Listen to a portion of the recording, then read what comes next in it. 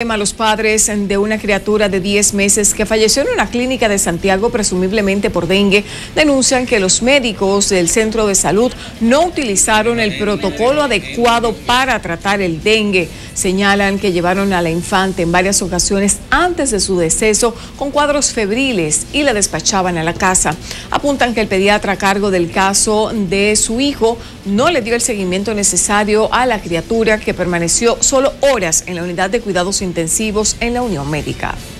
Cuando yo entiendo que le dio el paro a mi hijo, yo estaba dentro de la sala rogándole a la doctora de la, de la unidad que por favor me comunicara o que me cambiara el niño, le quitara el niño al médico y se lo entregara a la que la doctora este había dejado. Nosotros no esperamos el sábado para repetir el hemograma al niño. El viernes, al ver que él seguía decaído y sin apetito, volvimos a llevarlo y ahí fue que la plaqueta dieron un bajo de 196 a 56. Entonces, sí, yo considero que si el jueves con nosotros lo llevamos y vieron que estaba en 196, aún estuvieran normales y ellos ya presumían que podía venir un posible dengue,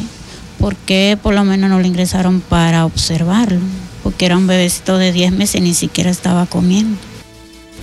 Los padres exigen una explicación ante la pérdida de su hijo y alegan que en el acta de defunción los doctores establecieron como causa de la muerte otros padecimientos además del dengue. Así se suma una nueva víctima a esta enfermedad que no necesariamente es mortal, resulta ser mortal cuando llevamos ya pues lamentablemente con un cuadro irreversible al paciente al centro médico o no se aplica el protocolo de rigor como es lamentablemente lo que aparenta haber sucedido en este caso. Lo cierto es que las autoridades del hospital deben pues eh, investigar a fondo ciertamente lo que sucedió con este menor, este infante de apenas 10 meses de edad y establecer cuáles fueron las reales causas de su fallecimiento y si es como dicen los padres que en el acta de defunción se especificaron otras condiciones y no necesariamente el dengue.